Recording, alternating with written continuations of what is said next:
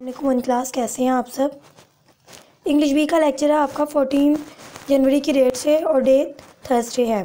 Chapter number nine start किया था this and that ये और वो। हमने ये पढ़ा था कि दिस हम नियर थिंग्स के लिए पढ़ते हैं, यानी कि जो हमारे पास होती हैं, और डैट हम पढ़ते हैं फार अवे जो चीज़ें हमसे दूर होती हैं। इन दोनों की डेफिनेशन की थी हमने पहले। आज हम इसकी एक्सरसाइज करेंगे पेज नंबर फाइव के ऊपर।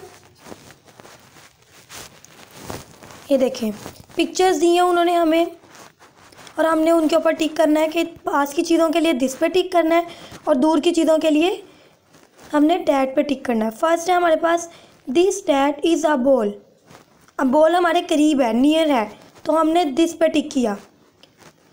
That this is a hen अब हैन हमसे दूर है, मुर्गी दूर है तो हम डैट पे टिक करेंगे that is a hen this that is a house अब ये घर हमसे दूर है तो हमने किस पर टिक करना है? डैट पे फार अवे है, इसलिए that is a house next this that is an umbrella अब ये अम्ब्रेला हमसे दूर है कि पास है?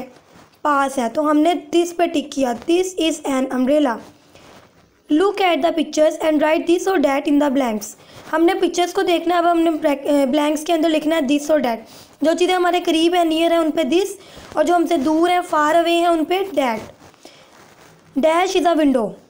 ये एक खिड़की है। अब ये खिड़की हमारे पास है कि दूर है? पास है नियर है। तो हमने लगाया this this is a window ये एक खिड़की है। Dash is a door. अब ये डोर देखें पिक्चर में। डोर हमसे दूर है फार अवे है। डैट इज़ अ डोर वो एक दरवाज़ा है। नेक्स्ट है डैश इज़ अ काइट अब ये काइट देखें, पतंग हमसे दूर है तो हम क्या लगाएँगे? That that is a kite वो एक पतंग है। डैश इज़ अ गोट अब देखें गोट गोट हमसे दूर है के पास है? दूर है. तो हमने इधर क्या लगाया? That that is a goat वो एक बकरी है. Dash is a lamp lamp क्या है अब? लैम्प हमारे करीब है. तो हम क्या लगाएँगे इस पर this this is a lamp ये एक लैम्प है. नेक्स्ट पिक्चर देखें. Dash is my friend friend किधर है? अब करीब है कि दूर है? करीब है नियर है। तो हम लगाएँगे this this is my friend ये मेरा दोस्त है। अब ये आपने अपने पेज नंबर फाइव पे एक्सरसाइज करनी है अपने नोट्स में फोर्टीन जनवरी की डेट से, ठीक है? और मैंने जो डेफिनेशंस करवाई हैं, वो भी साथ में आपने याद करनी है।